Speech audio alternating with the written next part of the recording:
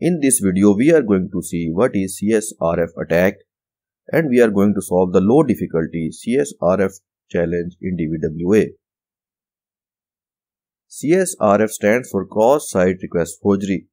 It is a type of attack that occurs when a malicious website, email or blog causes a user's web browser to perform an unwanted action on a trusted site for which the user is currently authenticated. The attack can be used to transfer funds, change account information, or perform other malicious actions. You should be on Kali Linux or Parrot OS in VMware, VirtualBox or running natively on your PC. In step 1, go to DVWA security settings and set the difficulty to low. Try to change the password. Once you click on change, you will see the notification that password has been changed. Now focus on the URL. You can send this URL to some other authenticated user in an email or by any other method. Whenever he will click on it, his password will also be changed. And as we have set the password in URL, we will know the password.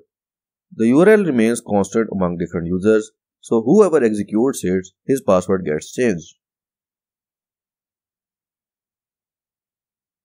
So on your DVW application, go to CSRF module. Here we can change our password. We also have a test credentials tab where we can check whether our password is correct or wrong.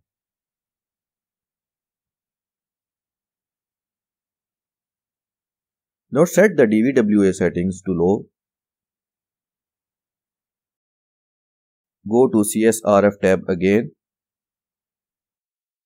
and try to set a new password and click on change. Now notice the URL. A new password is indicated in the URL. Now copy this URL and send it to any other user.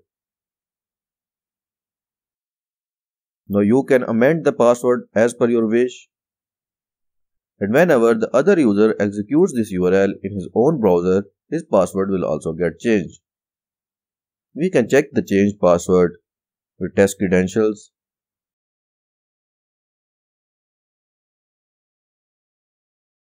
And we can see that password has been changed. If we look at the source code, we can see that there is no sanitation being performed. It just checks for the old password and matches the new password at the repeat password tab. I hope you understand the concept and see you in the next lecture.